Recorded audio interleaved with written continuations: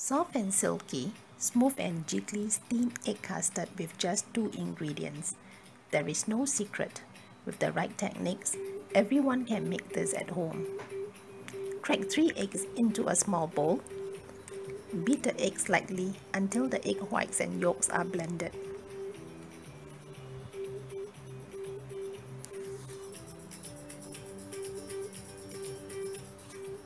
Look at the amount of blended eggs in the bowl. Pour the blended eggs into a bigger bowl. Using the same bowl, add 1.5 times the amount of water. To get the right texture, it is important to have the right egg to water ratio. I like 1 part of egg to 1.5 parts of water. If you want even softer texture, you can increase the amount of water, but no more than 1 is to 2. Add some chicken stock powder into the mixture. Alternatively, if you do not have chicken stock powder, you can add some soy sauce.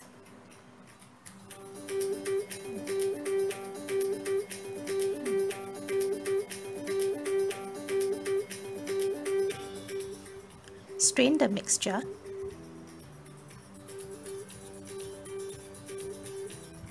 Using a spoon, remove any air bubbles you can see.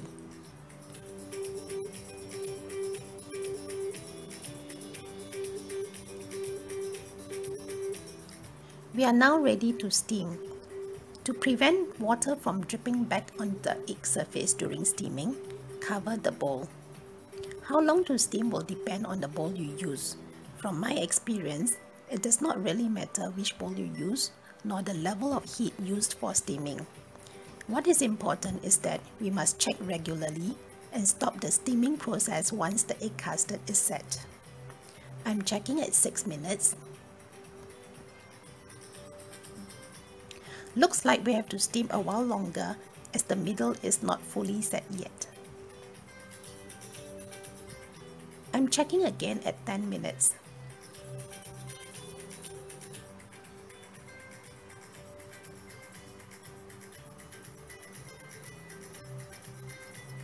It is now perfectly set in the middle.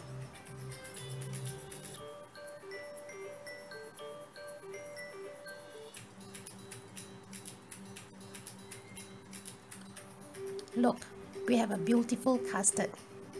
See the jiggle?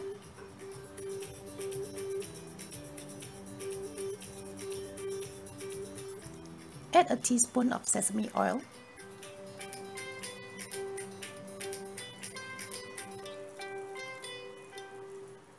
Enjoy!